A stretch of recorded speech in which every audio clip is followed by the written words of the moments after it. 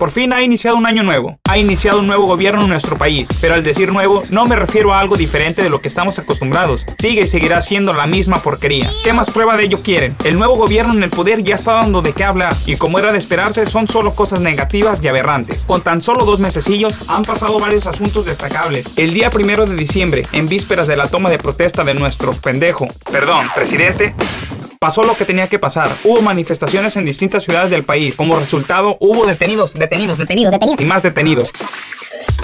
Sin pruebas, solo acusaciones. Ya ven que así es nuestro país, México, lindo y querido. En ese mismo momento nos enteramos la clase de ratas y delincuentes que llevarán el control en nuestra república. Un gabinete de vergüenza.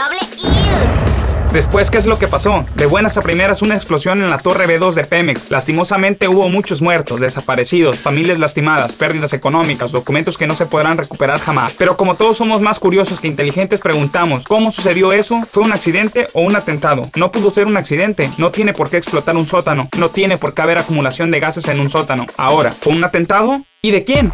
¿De qué mafia? ¿Zetas? ¿Los del Golfo? ¿Sinaloa? ¿O acaso cortesía de esas ratillas que quieren privatizar Pemex con la excusa de modernizar de la A a la Z este sector? Bueno, haya sido como haya sido, ya se nos olvidó a los mexicanos esa explosión. Y como ya nadie hace preguntas, las autoridades no tienen por qué darnos cuentas. Ah, pero no marquen un penal injusto contra la América porque hacen hasta un paro nacional.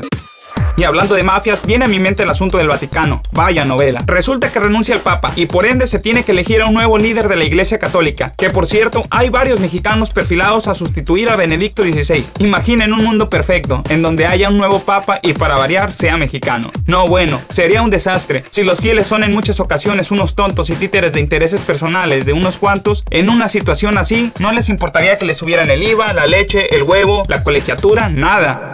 ¿Para qué quejarse si tendríamos al mayordomo de Dios de nuestra parte y sería un paisa? Bueno, volviendo al tema de México, por fin detuvieron a la rata de Esther Gordillo. Muchos hablan de cortina de humo, ya saben, los aviondos. Pero mientras son peras o son manzanas, están pasando cosas muy extrañas y difíciles en el país y esto seguirá así, hasta que terminen seis hermosos años de gobierno priista, que apenas, apenas comenzó.